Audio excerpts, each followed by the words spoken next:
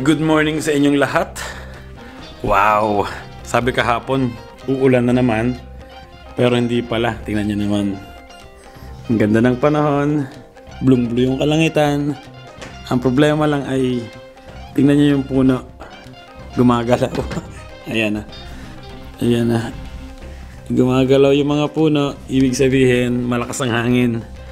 At malamig, di ba? Balak pa naman namin itong basketball mamayang konti. So, so posti. Okay. Magpupo ka muna dyan. Pupo mo muna siya tapos iihe dun sa terrace para siyempre hindi siya dito magkalat sa loob ng bahay. And, ha? Ah, umihi na ba? Umihi na pala. Ayun, ah, lalabas muna ako ng lulutuin. Bala kong mag-chicken. Chicken, chicken. Meron ditong freezer namin na chicken. Binili namin ng isang linggo. Sana nandito pa. At hindi ko lang kung nailuto na ni Mrs. Ang problema para nailuto na ni Mrs. Nawala na yung chicken namin dito. Ah, eto, eto. Wow! Ayan. Chicken. Ilan to? Siguro mga anim na peraso to. Okay na to. Ito ang kain natin ngayon. Isang kilo chicken. And ayun, bala ko rin kuhanin yung exhaust ng aming kusina. Kasi nga, ayun, pag nagpiprito dito, amoy na amoy yung, alam niyo yun, amoy na amoy dito yung mantika. So, ayun, bala kong ilagay yung exhaust nung yung tubo doon. Ayan, papunta dito sa kusina. Para pag may nagpiprito dito, ihigupin niya yung usok, lalabas siya doon. So, ayan. Punta muna ako sa garage. So, ayun, may problema. Kasi, ay, may clip pala to. Ang tubo na tong white. Ayoko naman kasi ikabit to. Etong silver, etong stainless. Kasi, pangit yung, ano, yung combination ng kulay. Kasi white yung bahay namin, yung pintura. So, ito ang kailangan ko. Eh, tingnan nyo naman. Maliit. So, mas kailangan ko ng mas marami pang tubo para makabit ko. So, siguro, uh, kuhanin ko muna yung sukat. Tapos, bibili ako ng mga kailangan. So, yun na lang gagawin ko. Sa ibang araw ko na lang tatapusin. Sayang. Ayan, lakas ng hangin ngayon. Nag nagbagsakan na yung mga dahon. Kaya, yun, nililinis na. Ang kulit ng aso na to. Oh.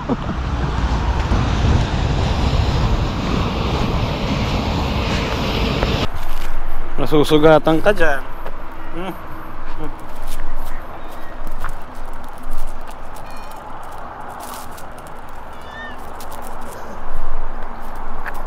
Huwag na baka masugatan ka. Diyan mo. Tara.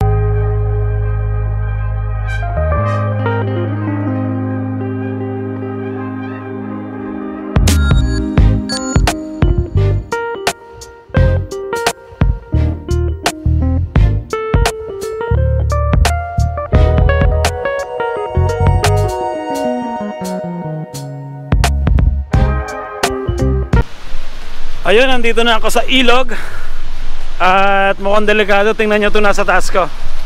Bumagsak yung puno. Kasi alam nyo yan, uh, lakas ng hangin ngayon.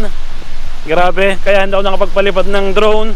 So yung intro ko nung shot ko pa nung isang linggo. And kaya wala rin akong intro ng ano, uh, apoy dun sa chimney namin. Kasi pag nag-apoy ka ngayon, mayroong posibilidad na bumalik yung usok pababa kasi malakas yung hangin. So, bibilisan ko lang yung lakad kasi tingnan nyo yung mga puno oh. Parang matutumba na. So, ayun, kasama ko pa rin si Posty. At hindi ko lang kung anong oras na ngayon. So, mamaya maya konti, babalik na kami para igala ko naman yung bunso ko sa basketball. Laro naman kami ng basketball. So, exercise lang ngayon, umaga, di ba? Total Saturday naman ngayon, wala akong trabaho. Sulitin ko muna to.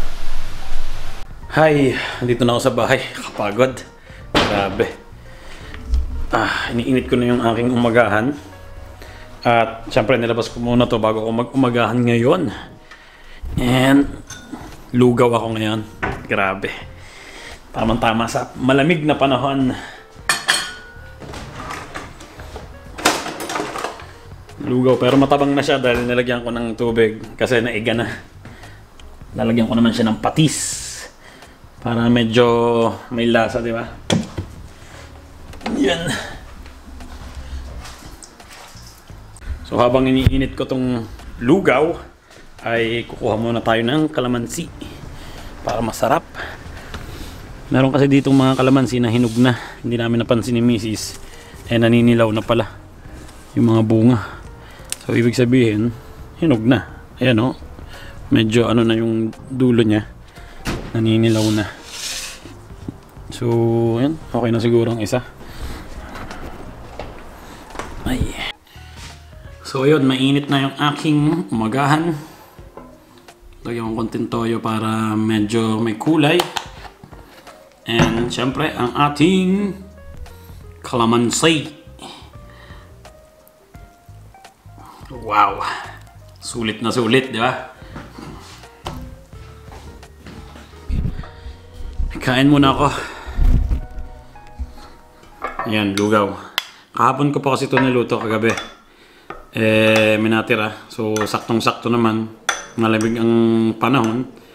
Lugaw, di ba? Oh, init. Cheers. Mm. Wow. Eh, nandito na kami ngayon sa labas ni Basti. Hey! So, dadalhin ko naman siya sa court. Pagkatapos ko igala si Posti. Kasi hindi ako makapaglaro ng basketball pagkasama namin si Poste, siya, yung aso. Kasi hawak-hawak namin lagi pa pag ganon. Eh, ang hirap maglaro. So, kaya dinala ko muna siya sa labas. Tapos, si Basti naman. Para makapaglaro kami dalawa ng ayos, di ba? Basti? Wala si kuya kasi. Si kuya kasi nandun sa bahay. May sakit na naman. Alam mo yun, kakagaling niya lang ng ah COVID nang nagka-virus kasi siya, nag-positive. Ah, isang isang buwan na siguro lumipas. Eh ngayon parang may ano na naman siya, parang may COVID na naman. Pero sana wag naman. Pero tinest namin siya kahapon, negative pa siya. Pero may lagnat na naman siya kaninang gabi. So, ayun.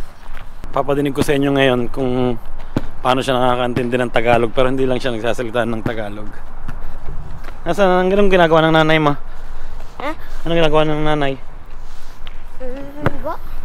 Ng mama? Eh, nasa. Ha? Nasa. Anong kinain mo ng umagahan? Eh, hotdog. Hotdog.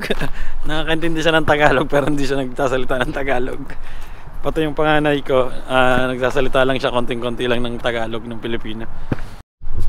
Mukhang maganda yung epekto ng basketball kay Basti kasi nakikita ko na agad sa kanya na hindi na siya nagdi-dribble ng dalawang kamay, hindi katulad dati. Ah, pag nagdi-dribble siya, dalawang kamay. So hindi pwede 'yon, 'di ba? Double 'yon. Pag nag-dribble ka ng dalawang kamay, tapos pwede ring ang ano 'yon, ah, yung traveling. Pero nakikita ko sa kanya ngayon, isang kamay na lang siya mag-dribble pero hindi niya pa masyadong ma ano mahawakan ng todo pag titira na. Pero nakapag-dribble na siya ng mag-isa, hindi katulad dati. So yun, ah, ibig sabihin nag-i-improve na siya. 'Di ba? Ayan, maglalaro kami ng one on one.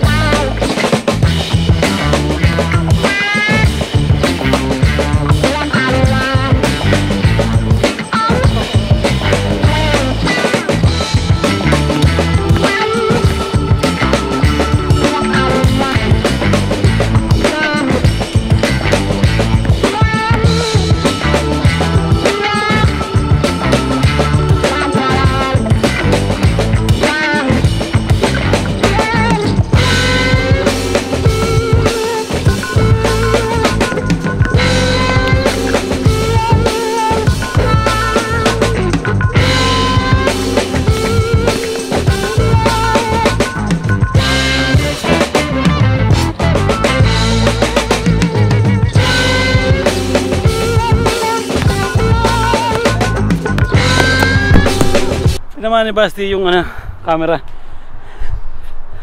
Pero ang score namin 9-2. 9 siya. Ito lang yung nas-shoot ko. So, ayun, tatapusin lang namin.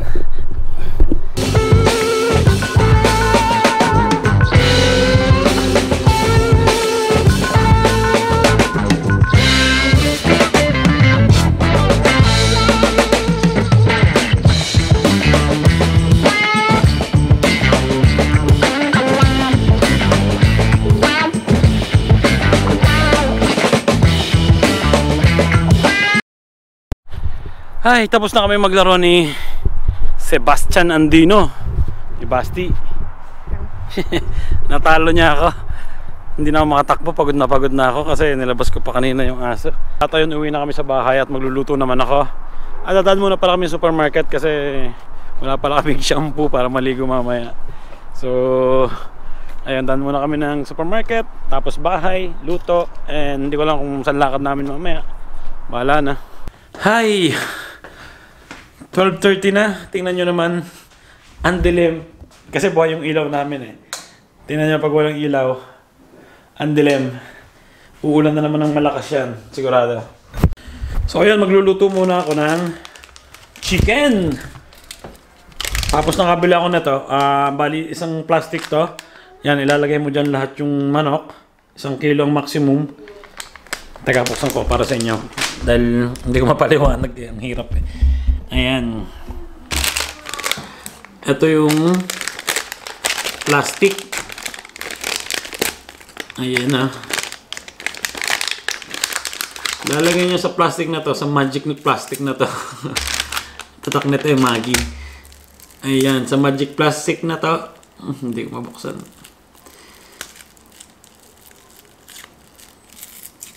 Aha. Nasira-sira na. Ay. Ayun, natanggal ko na. Yan. Lalagay nyo sa magic plastic na to ang isang kilo ng manok. Ayan.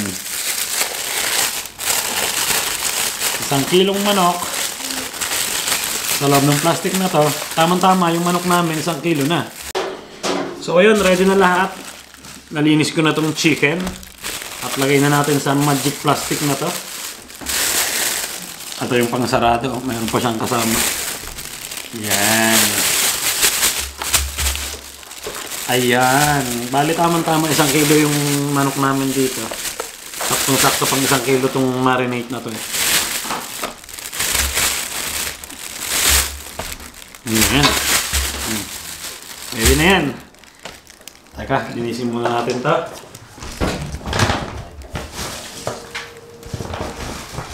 Susunod na lagay natin itong powder, di ba?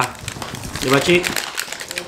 Chi, Yeah, di ba? see. Nawalan pala kami ng bigas. Bumili si Mrs. Ba't ko konti na? For 25 lang. Ah, hindi ba 5, 5 kilos yan? Hindi, mas mabango sa ayan, bubuksan ko na tong Maggi. Hindi ko alam kung anong tawag dito. Ito yung pagmadali ang luto eh. Bale, wala ka nang gagawin pa. Lalagay mo lang tong powder na, na nasa loob dito sa chicken. Ayan, no? Wow! Ayan. Nalagay ko na ito. Ayun, nalagay ko na yung powder. And, siyempre, mix natin ng todo yan. Yan, eh. Pwede din siguro itong ilagay sa ano, kaldero na. Yeah. So ayan, lalagay lang natin ito sa oven ng 180 degrees. Isang oras.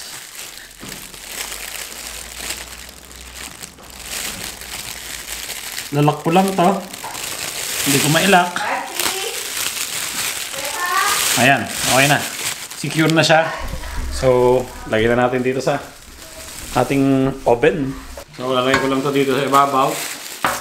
Ayun, ganan. Ayan. Pero iniinit ko pa yung ano, oven namin. So ayun, ready na yung oven, mainit na. Ah, nararamdaman ko na pati dito yung init. So, lalagay ko na yung chicken na minarinate dito sa powder na to. Ayan. Ilagay na natin dyan. Isang oras natin dyang lulutuin. Ayan o. So, set up natin ng 1 hour and 180 degrees. Yan. Okay na. So, ayun. ah malapit na maluto itong niluluto namin. And pati yung kanin, malapit na. Tsaka nagluto si Mrs. ng ligo. ligo na may spinach siya, tata. Ayan. Kasi may spinach kami dito, eh, nung isang araw pa yun, malapit ng malanta, alam niyo yun. And, ayun, yung ginawa ni Mrs. ah, nilagay niya dun sa ligo. So, para hindi naman mapatapon, di ba, sayang. And, yun, nagsisimula ng umambon. Tingnan niyo naman kung gano'ng kadilim. Ah, importante doon, marami tayong nagawa agad, di ba? Bago, bago pa umulan. Pagkatapos ng isang oras, ayun, ready na. Saan natin lalagay? Ha? Waka, waka. Kuhanin ko lang sa loob ng oven.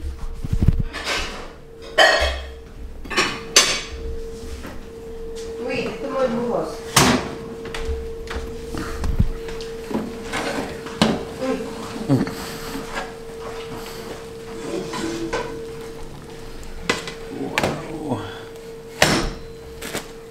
Tingnan nyo naman yung kinalabasan ah. Wow! May sauce pa, mismo mantika yan ng chicken. Hey, galing ka na? So yun, kain muna kami. So time check! Mag 8.30 na. And ayun, niregaluhan kami ng amo ni Mrs. ng TV. Pero gamit na siya. Tingnan nyo naman. 50 inches. Ayan, regalo sa amin. Ay. Ano lang, ah, mahirap lang kasi dito. Kailangan mo ng, ah, ano yun? Decoder. Hindi ko alam kung meron tong sa atin. Ito yung decoder na siya yung hahanap ng channel. Ganito dito ngayon. Hindi katulad sa atin na basta may antena ka, okay na. Dito hindi pwede. So, ayun, hindi pa namin makonect.